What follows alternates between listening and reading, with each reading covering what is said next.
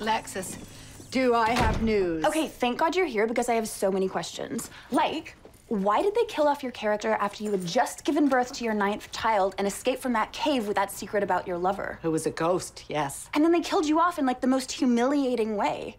I'm not sure I'd call it humiliating. You vomited a demon into a toilet and then fell in and drowned. Well, the writers insisted it was symbolic. Nevertheless, I and have... then they shredded you. Yes, yes, I should have seen that coming after my contract demands, but... Okay, yes, re that drama. I just fell down a dark sunrise fan hole and found this message board about conspiracy theories. Oh. There are a lot of fans who think that Clifton Sparks had you written off the show because he was jealous. Don't be a dotty paw, Alexis. No, I unwittingly negotiated myself off the show.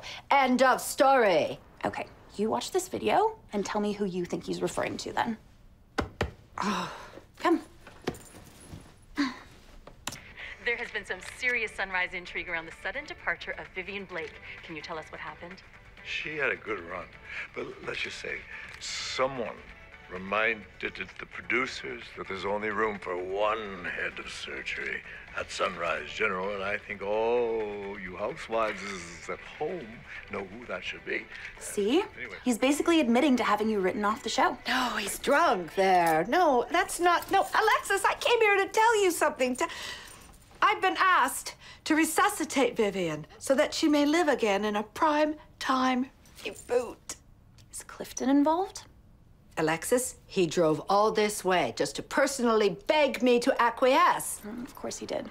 You are the only person in the show making headlines right now. That's not true. Adriana had a DUI last year. Popped a breast, poor dear. They need you. And all I'm saying is, as your publicist and your daughter, and now the moderator of the Sunrise Bay Fan Forum, there is more to this story.